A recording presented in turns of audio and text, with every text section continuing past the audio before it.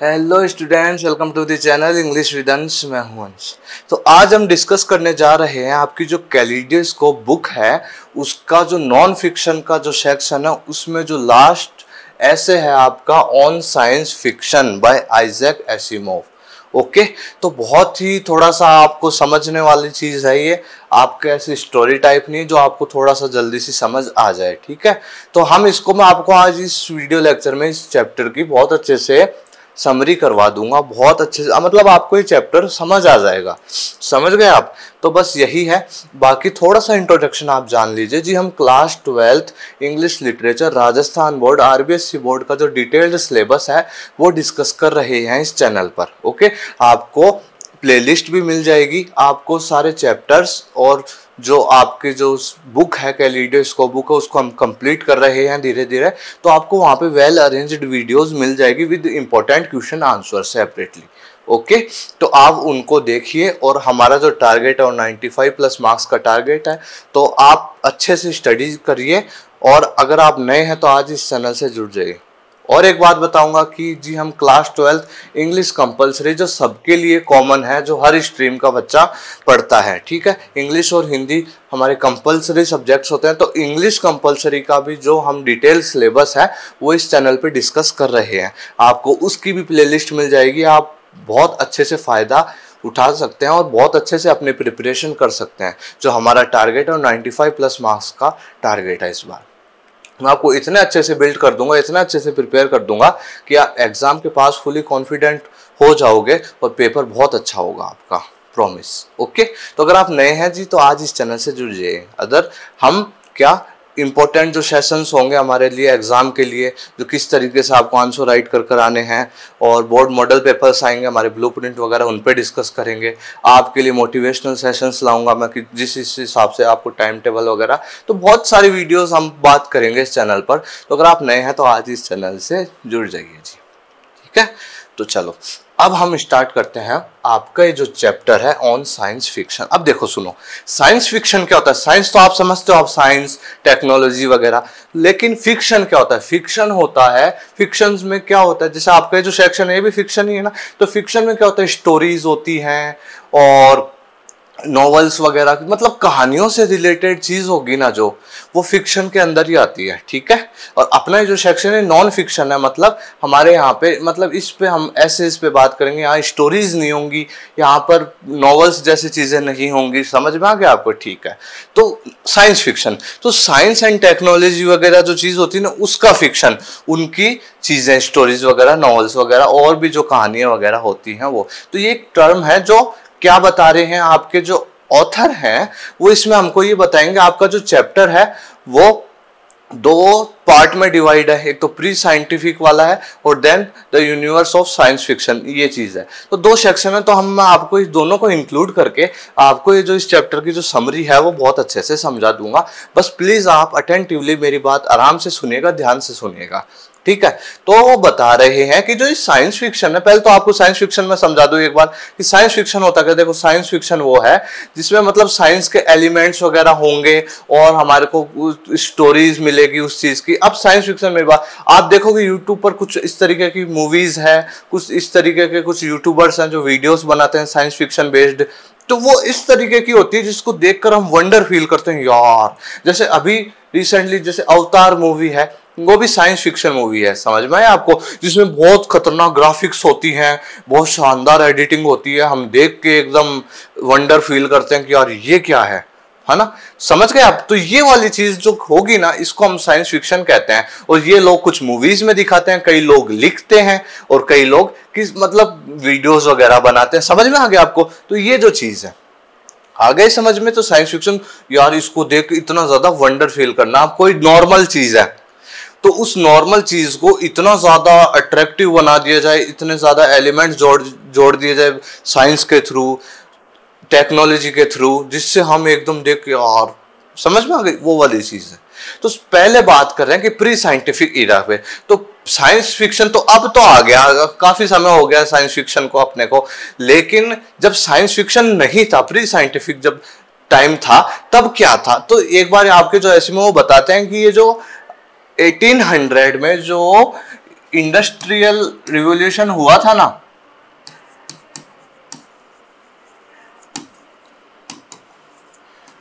Revolution हुआ था मतलब आप हिंदी में पढ़ते हो ना औद्योगिक क्रांति 18वीं शताब्दी की औद्योगिक क्रांति, जिसमें बहुत ज़्यादा टेक्नोलॉजी का और औद्योगिकरण वगैरह जो चीज़ें होती है ट्रांसपोर्ट इम्पोर्ट मतलब ये जो चीज़ें हैं तो बहुत ज़्यादा विकसित हुई थी उस टाइम पे, अठारहवीं शताब्दी में। तो ये जो 1800 जो इंडस्ट्रियल रेवोल्यूशन हुआ था, औद्योगिक क्रांति हुई थी, उसके बाद, उसके साथ से ही जो साइंस फिक्शन की शुरुआत हो गई थी अपने मतलब यूनिवर्स में, अपने वर्ल्ड में। ठीक है? समझ में आ गया आपको?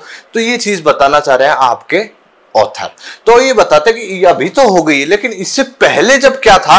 इससे पहले चीज़ें बहुत ज़्यादा कॉम्प्लिकेटेड थी। मतलब लोग, अब पहले साइंस तो थी नहीं इतनी। तो लोग किस तरीके से आकलन करते थे चीज़ों का? किस तरीके से जानते थे? तो उस टाइम क्या होती थी? माइथोलॉजिकल स्टोरीज होती थी। ओके? मतलब पौराणिक कथाएँ होती थी, कुछ बिलीव्स होते थे, कुछ मिथ्स होती थी, कुछ लीजेंड्स होती थी, कुछ एंशियंट स्टोरीज होती थी। समझ में आ रहा है? मैं जो जो कह रहा हूँ, आप प्लीज़ मेरे बात को ध्यान से सुनेंगे और फिर समझेंगे। तो अभी तो साइंस फिक्शन है, अब तो हम चीज़ों को साइंस के थ्रू समझ लेते हैं टेक्नोलॉजी के थ्रू समझ लेते हैं, जान जाते हैं चीज़ों को। लेकिन उस टाइम पे क्या था? उस टाइम पे यार, उस टाइम पे ये चीज़ें थी कि भाई, कि जैसे एनशेट स्टोरीज हो गई कुछ कहानियाँ होंगी तो कहानियों पे बेस्ड लोगों के बिलीव्स होते थे कि यार ऐसा होता था। उस टाइम क्या होता था कुछ स्टोरीज होती थी कि सुपर सु, उस टाइम क्या बांधते थे उस टाइम के जो लोग थे ना इससे पहले के वो सुपर पावर में सुपर पावर्स होती है ना उनमें क्या करते थे बिलीव बिलीव करते थे विश्वास करते थे। और वो सुपर पावर क्या थी भाई? मतलब मेन क्या थी वो सुपर पावर गॉड मतलब जो कुछ हो रहा है, वो गॉड कर रहे हैं। अगर अच्छा हो रहा है तो भगवान की हमारे पे कृपा है। अगर बुरा हो रहा है तो किसी, कोई हमारे को किसी पाप की सजा मिल रही है या कोई जो शैतान है डेविल है, वो हमारे पे ये प्रकोप कर, उसका प्रकोप हो रहा है। समझ में आ गई चीज़ें मैं आपको जो कहना चाह रहा हूँ? चीज़ों को समझने की कोशिश करना। ठीक है? तो उस टाइम क्या था?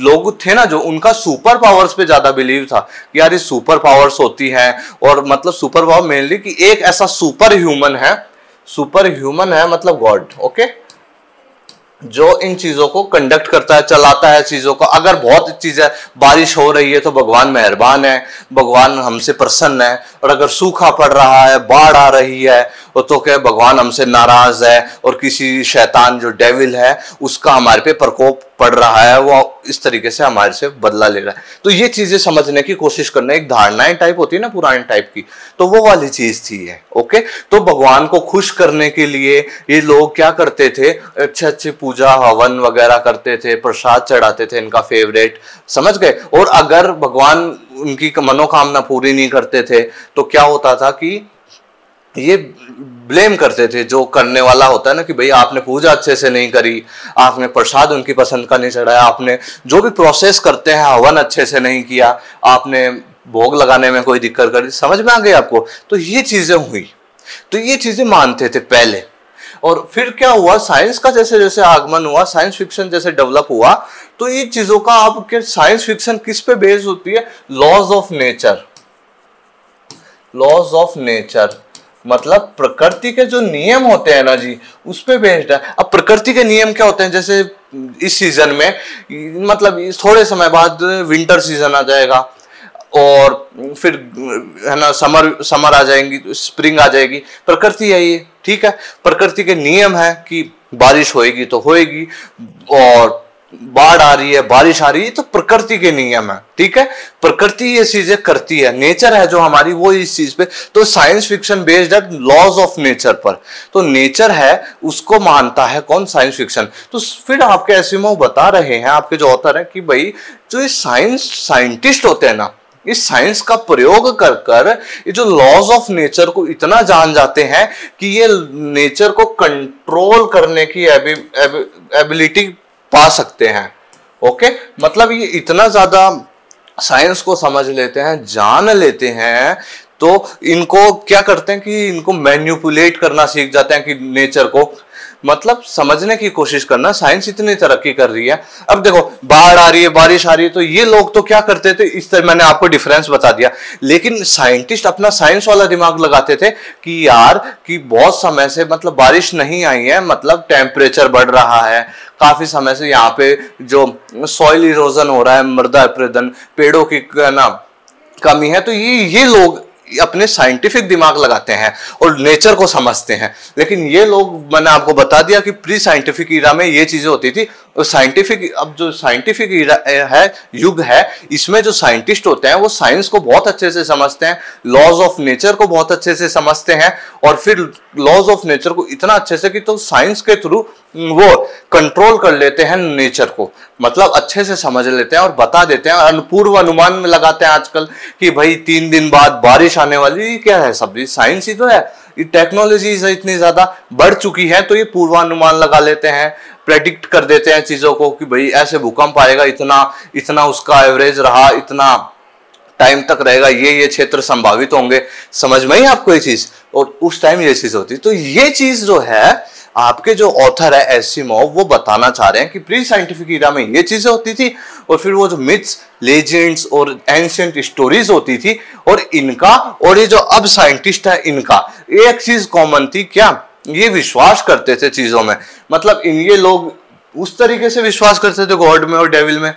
ये लोग लॉज ऑफ़ नेचर और प्रकृति के बारे में और अपने जो साइंस एंड टेक्नोलॉजी उसमें विश्वास करते थे, ठीक है? उस टाइम ये जो, उस टाइम जो लोग थे वो एंशियंट स्टोरीज आप आप भी सुनते होंगे कुछ कहानियाँ वगैरह फिर उन पर बिलीव हो, हो जाता है अपने को। तो उस टाइप के लोग इस तरीके के होते थे ठीक है? और फिर हमको कुछ बता दिया जाए कि यार ये ये विश्वास होते हैं ये धारणाएँ हैं तो हमको उसी के अनुरूप चलना पड़ेगा ठीक है? तो वो myths legends and ancient stories होती थी माइथोलॉजिकल स्टोरीज होती थी उन पर बेस्ड था प्री साइंटिफिक ईरा और ये जो थे, ये लॉज ऑफ़ नेचर पे ध्यान देते थे, अपनी साइंस पे ध्यान देते हैं। लोगों की जो जो साइंस फिक्शन जो लिखते हैं, जो लोग मतलब लिखना भी एक एक टर्म भी हो चुकी है। आज राइटिंग फॉर्म में भी लिखा जाता है साइंस फिक्शन ओके तो उन पे बिलीव करते हैं, पढ़ते हैं, अध्ययन करते हैं। टेक्नोलॉजी को इतना ज़्यादा एडवांस कर दिया है तो चीज़ों को एक तरीके से मेजर कर सकते हैं, माप सकते हैं। ठीक है? तो ये चीज़ आपको समझने की बहुत ज़्यादा आवश्यकता है। तो ये चीज़ जो है, आपके जो ऑथर है ऐसी एसिमो, उन्होंने बताने की कोशिश करी है आपके इस चैप्टर में। जो फ़र्स्ट सेक्शन है ना, उसमें यही चीज़ों की बात हो रही है। सेकंड जो सेक्शन है, जो उसमें क्या बात हो रही है, उसमें बात हो रही है कि साइंटिफिक की the universe of science fiction. तो क्या कि अब साइंस फिक्शन इस हर जगह है? साइंस फिक्शन की एक बेसिकली एक चीज़ है कि किसी नॉर्मल चीज़ को आप इतना ज़्यादा एकदम एक्सप्रेस करो, इतने ज़्यादा रिफ्लेक्टिव तरीके से दिखाओ। जैसे मूवीज़ आजकल साइंस फिक्शन बेस्ड मूवीज़ होती है यूट्यूब पे कुछ आपको एंटरटेनमेंट टाइप की वीडियोस भी मिल जाएँगी ओके उनको देखते हो आप वंडर फील फिर बताते हैं कि कुछ स्पोर्ट्स स्टोरी है तो उसको हमको किस हिसाब से इस तरीके से दर्शाएँ कि वो साइंस फिक्शन लगे। तो वो ऐसे दर्शाया जाता है कि यार स्पोर्ट्स स्टोरी में मतलब टेक्निक्स इतनी बना दी जाए, वैसे नेचुरल स्पोर्ट्स नॉर्मल तरीके से खेला जाता है ओके फिर मतलब और स्पोर्ट्स स्टोरी को अगर कन्वे करना हो, बताना हो तो उसमें बहुत ज़्यादा ग्राफिक्स मतलब बता दे कि जैसे बैकग्राउंड चेंज कर दे ओके बैकग्राउंड चेंज कर दे कि भाई यूनिवर्स में क्रिकेट खेल रहे हैं, खड़े होकर और इस तरीके से तारे वगैरह, समझ रहे हो आप? फिर एक एडवांस लेवल पे किसी चीज़ को दिखाना तो यूनिवर्स ऑफ़ साइंस फिक्शन है। फिर दूसरी जंगल स्टोरी बताते हैं कि जंगल स्टोरी भी बेसिकली हम देखते हैं, जानवर, पेड़, पत्ते होते हैं और चीज़ें होती है तो हम देखें उसमें हमको साइंस फिक्शन के थ्रू अगर देखेंगे तो हमको दिखेगा। तो इस तरीके से हमको दर्शाया जाएगा कि भाई एनिमल्स है, वो रोबोट हैं, और जो जो पेड़ पौधे हैं, वो अलग प्रकार के लग रहे हैं, एकदम बोल्ड टाइप के, समझ रहे हो? एकदम एकदम चित्र करे वैसे। तो ये वाली चीज़ें कि यार इतना खतरनाक पेड़ जो इस तरीके से मूव हो रहा है, ये सारी चीज़ें साइंस फिक्शन है तो ये बताने की कोशिश करिए। फिर आपके जो ऑथर हैं, वो एक व्यक्ति का नाम लेते हैं जॉन डब्ल्यू कैंपवेल ओके? इनका नाम लेते हैं। ये कौन है? ये एडिटर है साइंस फिक्शन के। तो इन्होंने साइंस फिक्शन को बहुत ज़्यादा प्रेज किया है हमेशा, ठीक है? कि साइंस फिक्शन इस तरीके से साइंस फिक्शन का जो आकलन है जो जो एक ये असीमित है अनलिमिटेड है, इसमें बहुत ज़्यादा चीज़ें हैं, बहुत ज़्यादा एलिमेंट्स हैं, हम साइंस फिक्शन को बहुत अलग अलग तरीके से प्रदर्शित कर सकते हैं, बता सकते हैं, दिखा सकते हैं, ठीक है? ये चीज़ बताते हैं वो कि इसका लेवल बहुत ज़्यादा है और ये बहुत ज़्यादा विस्तृत है, बहुत ज़्यादा विशाल है, फैला हुआ है, ओके? बताते हैं, ये चीज़ बता रहे ओके? इन्होंने बताई चीज़। और फिर ये कहते हैं ये रियलिस्टिक होता है फैंटास्टिक एलिमेंट मतलब इसमें पॉसिबल थिंग्स होती है और इम्पॉसिबल थिंग्स होती है। उन इम्पॉसिबल थिंग्स को भी पॉसिबल वे में दिखा दिया जाता है। रियलिस्टिक होते हैं फैंटास्टिक मोड होता है इनका। समझ में आ रहा है आपको? ये चीज़ें, कुछ चीज़ें बताई उन्होंने कि साइंस फिक्शन में ये ये चीज़ होती है, हमको देखने को मिलती है, ठीक है? ओके फिर आपके जो जॉन, ये कैंपबेल हैं, इन्होंने एक तरीके से कहा कि जो साइंस फिक्शन मिस्ट्री होती है ये भी एक टर्म है कि साइंस फिक्शन मिस्ट्री है, उसको दिखाना, उसको लिखना, ये बहुत ज़्यादा इम्पॉसिबल है। ये तो हो ही नहीं सकती। साइंस फिक्शन तो बहुत वास्ट है, बहुत ज़्यादा विशाल है, बहुत तरीके से, लेकिन आप साइंस फिक्शन मिस्ट्री नहीं लिख सकते हो। अब ये क्या चीज़ है? मतलब मिस्ट्री यानी रहस्य होता है तो साइंस फिक्शन आगे ही साइंस फिक्शन है खूब ज़्यादा एलिमेंट्स होंगे, खूब ज़्यादा कंफ्यूजिंग स्टोरीज होंगी, उसमें आप मिस्ट्री और डाल दो। मतलब इस तरीके की रहस्यवादी चीज़ें डाल दो डिटेक्टिव टाइप की। और फिर अगला तो समझ से बाहर हो जाए। तो जॉन जॉन कैंपेबल कहते हैं कि भाई, ये चीज़ तो बिल्कुल नहीं है। ये कोई कर ही नहीं सकता है कि साइंस फिक्शन में मिस्ट्री एलिमेंट जोड़ देना। ठीक है? फिर आपके एसिमो जो आपके ऑथर हैं, ये इनके तर्क में, इनको कटाक्ष करते हुए कहते हैं कि भाई, ऐसी चीज़ उन्होंने गलत कही है। उन्होंने एक चीज़ गलत कही है कि साइंस फिक्शन मिस्ट्री को लिखना आसान मतलब इम्पॉसिबल ही है, आसान नहीं है। ठीक है? तो ये कहते हैं कि भाई, ऐसी कोई बात नहीं है। साइंस फिक्शन मिस्ट्री लिखी जा सकती है। अब देखो साइंस फिक्शन मैंने बता दिया आपको क्या होता है? फिर उसमें मिस्ट्री और डाल, डाल दी जाए भाई। बहुत ज़्यादा मिस्ट्रीयस बना दिया रहस्यमय कोई भी चीज़ आपको बताई जा रही है डिटेक्टिव टाइप से और उसमें आपको फिर यार मर्डरर कौन है? तो उस तरीके से आपको पता नहीं पाँच सात दस लोगों पे शक करवाया जाए। इसको कहते हैं सस्पेंस क्रिएट करना। समझ में आई आपको? तो ये मिस्ट्री डालना मतलब चीज़ों में आज के टाइम पे इतना कठिन नहीं है, ठीक है?